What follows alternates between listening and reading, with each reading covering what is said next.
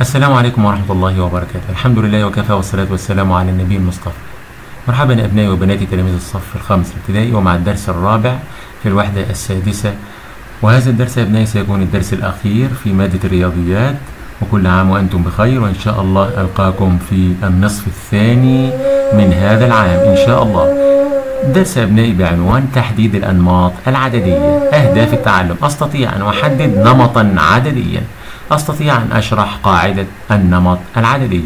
أستطيع أن أستخدم الرموز لتمثيل القيم المجهولة في قاعدة في قاعدة للنمط العددي.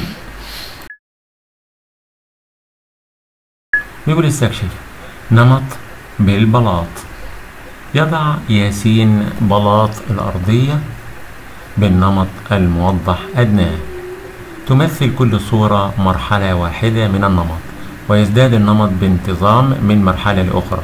أجب عن الأسئلة التالية عن هذا النمط المرحلة الأولى المرحلة الثانية المرحلة الثالثة. نلاحظ في المرحلة الأولى أبنائي أن هذا النمط كما ترون في الوسط وحوله واحدة ثم اثنان من على اليمين وعلى اليسار وفوقه واحدة وأسفله واحدة. النمط الثاني أبنائي نجد أنه نفس الكلام ولكن زاد واحدة على اليمين وزاد واحدة على اليسار وزاد واحدة فوق وزاد واحدة تحت. يبقى معنى الكلام يا أبنائي إن أول حاجة أرسم خمس مربعات كما هي بالشكل. واحدة في الوسط والباقي فوق وتحت ويمين ويسار. ده النمط الأول. النمط الثاني هزود على كل جنب في الأربع جهات إيه؟ بلاطة. فهنا زود لي بلاطة أصبحت على يمين دي اتنين وعلى يسارها اتنين وفوقها اتنين وتحتها اتنين.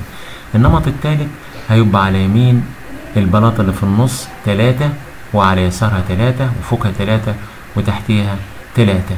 طيب يبقى النمط الجاي إن شاء الله يبقى إيه؟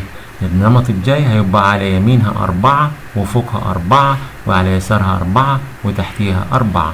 هذا أبنائي هو بيقول لي ارسم المراحل الأربعة والمراحل الخمسة المرحلة الرابعة والمرحلة الخامسة مع عدد البلاط في المرحلة العاشرة. تعالوا نشوف أبنائي حتى نصل إلى إيه؟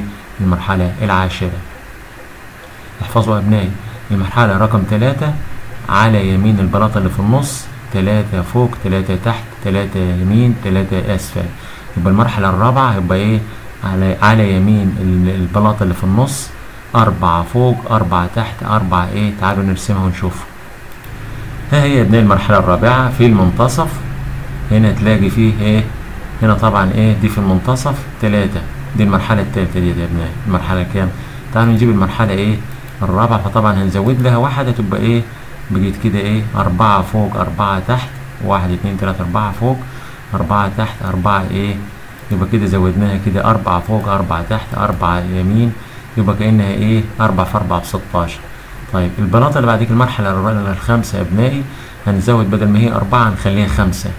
خمسة فوق خمسة تحت خمسة إيه؟ خمسة تحت خمسة يمين خمسة يسار. يلا. إيه يا ابنائي؟ هنزود لها هتبقى خمسة. وعلى اليسار وعلى اليمين وفوق وتحت. يبقى كده زودنا لها. خمسة هنا وخمسة فوق وخمسة. ونكتب هنا خمسة خمسة خمسة خمسة. في جميع إيه؟ المراحل. يبقى إذا واحد زائد خمستاشر زائد خمستاشر زائد خمستاشر زائد خمستاشر بيديني كام؟ واحد وأربعين. دي المرحلة الكام؟ الرابعة دي الخامسة دي. طيب المرحلة الخامسة كما عدناهم أبنائي وقلت لكم هنا أربعة هنا خمسة على على يمين دياتي. يبقى المرحلة رقم كام بعد كده؟ المرحلة السادسة هتبقى كام؟ المرحلة السادسة هتبقى ستة على اليمين وستة على اليسار وستة فوق وستة تحت. هكذا أبنائي الأعزاء. إذا أبنائي والأعزاء لما نستمر في هذا النمط حتى نصل إلى المرحلة العاشرة نجد أن على يمين هذه البلاطة هتبقى عشر بلاطات وهنا عشر بلاطات وعشر بلاطات هيديني كام؟ الأربعة زي ما قلت لكم واحد زائد خمستاشر زائد خمستاشر زائد خم... عشرة عشرة معلش واحد زائد عشرة زائد عشرة زائد عشرة زائد عشرة يساوي كام؟ يساوي الأربع مراحل واحد وأربعين بلاطة يبقى في المرحلة العاشرة هتبقى كام؟ واحد وأربعين بلاطة واحد وأربعين إيه؟ بلاطة وهو ده حل السؤال يا ابنائي في المرحلة العاشرة يكون واحد وأربعين إيه؟ بلاطة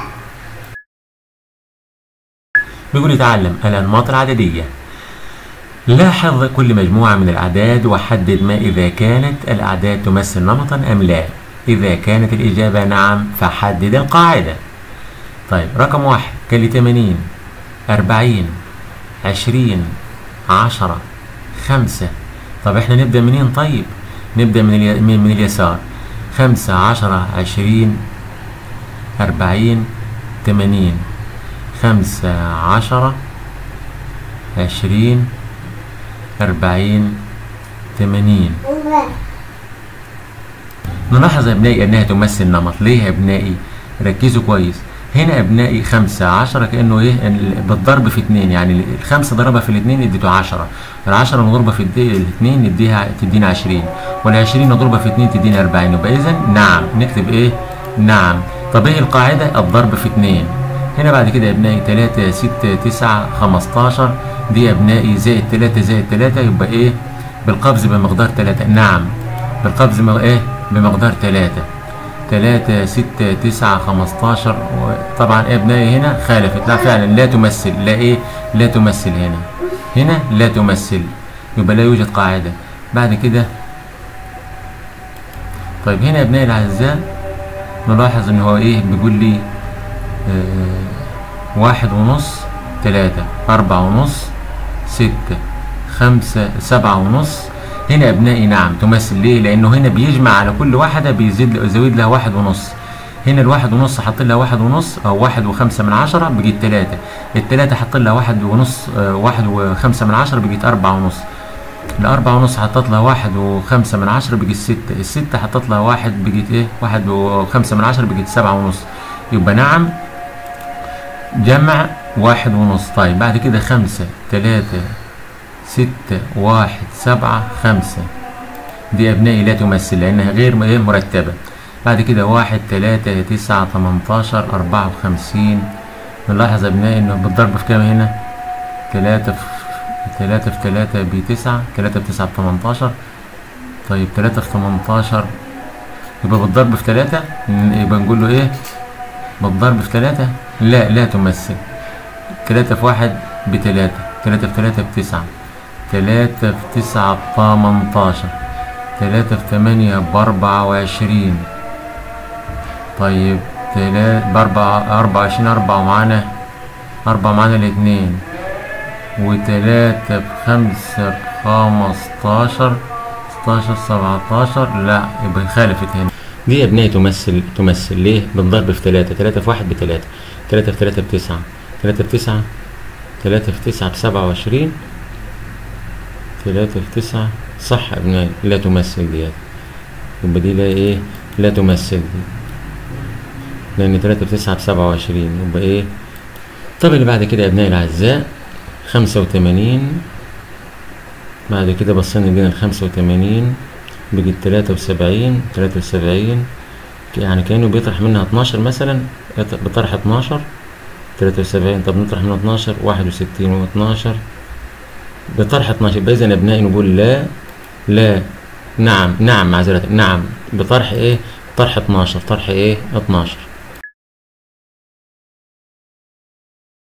طب تعالوا يا أبنائي في كل واحدة في قاعدة توجد عايزين نعرفها ما القاعدة. لاحظ كل جدول وحدد القاعدة استخدم متغيرا لكتابة القاعدة. واحد بعد كده اداني تمانية. اتنين اداني ستاشر. تلاتة اداني أربعة وعشرين. واحد مثلا في تمانية بتمانية اتنين في تمانية بستاشر تلاتة في تمانية بأربعة وعشرين أربعة في تمانية باتنين وتلاتين خمسة في تمانية بأربعة إذا أبنائي القاعدة هنا بالضرب في تمانية بالضرب في إيه؟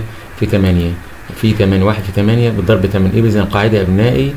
إن في تمانية إن يعني المتغير إن في تمانية.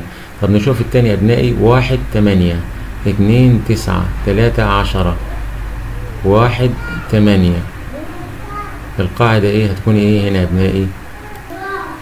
طب هنا واحد مثلا هتبقى تمانية يبقى واحد زي السبعة اتنين زي السبعة طيب تسعة تلاتة زي السبعة عشرة أربعة زي السبعة يبقى إذا زائد هنا أبنائي يبقى القاعدة إن إن زائد سبعة إن زائد إيه؟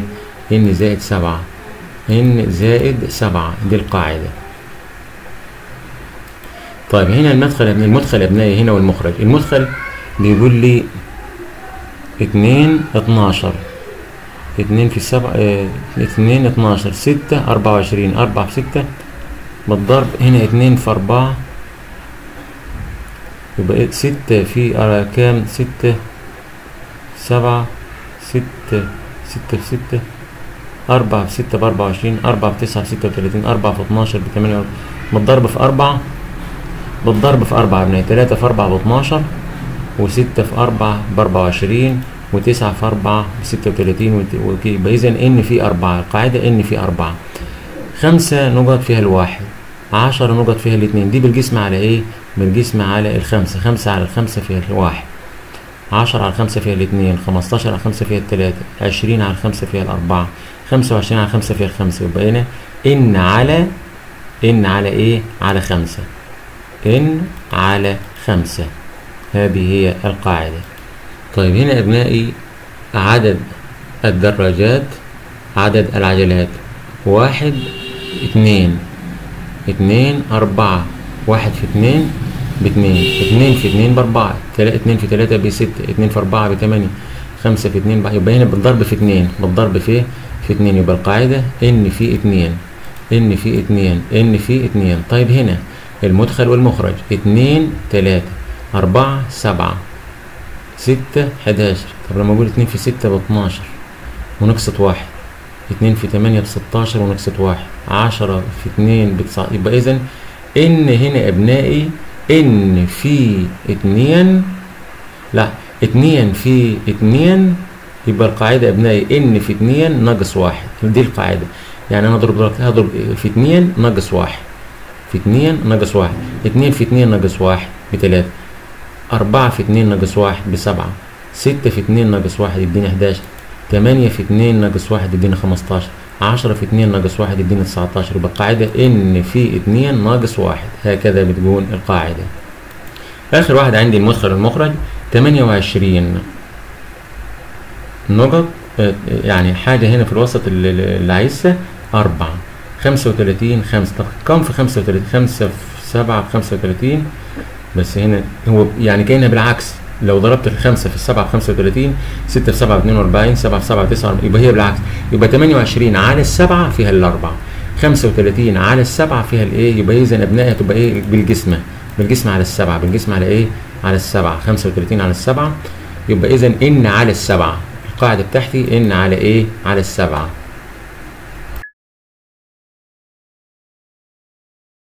هنا يا ابنائي مديك بيقول لك يحيى لما جاوب قال إن في سبعة. أعتقد أن القاعدة هي الضرب في سبعة لأن 28 يساوي سبعة في أربعة بيساوي سبعة في أربعة بيساوي كام؟ 28 وخمسة وتلاتين يساوي خمسة في سبعة والقاعدة تنطبق على كل زواج من الأزواج.